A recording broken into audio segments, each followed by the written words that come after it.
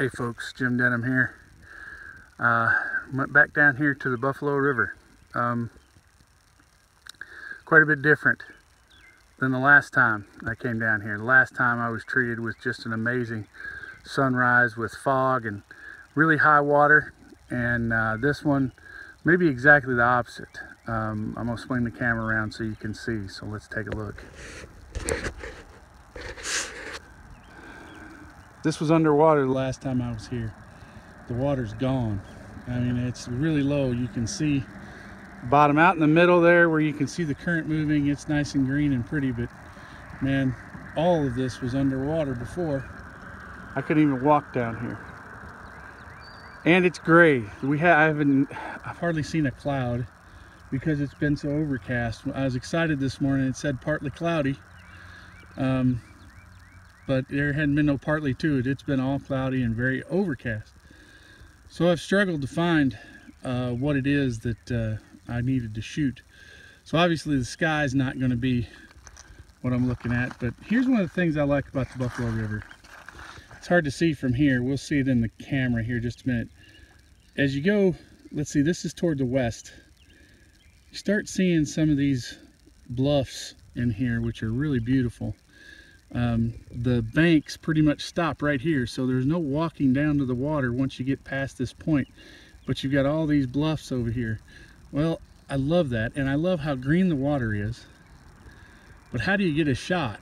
Um, so what I did was is I started looking and you take the sky out of the way but we've got this really nice little jut out here from the edge on the banks with the background of the rocks, the bluffs, and some trees and reflection.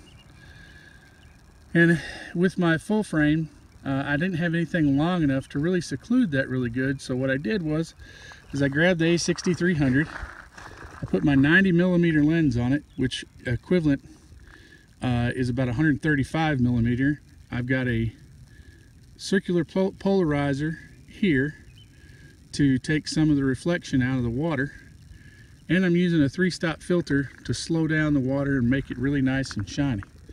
Now if you look at the back of the camera, it's all a manual focus. So you can see what all's in focus with the focus peaking there. Okay, and you can see my settings. I'm at uh, f16, 10 seconds. That's because of both the two stops of the circular polarizer and uh, the three stops of the ND filter. I'm at ISO 100 and f16. So all this is going to be uh, in focus. And it allows me to zoom in and get really close on this, but also bring all of this in. So let's hit the shutter button. It's gonna go for 10 seconds. Let's see what happens. I just really think this is gonna be beautiful, even though we're limited on what we really can do today. I mean, it's it's such a gray day, no light. Okay, it just got through. Let's see what happens.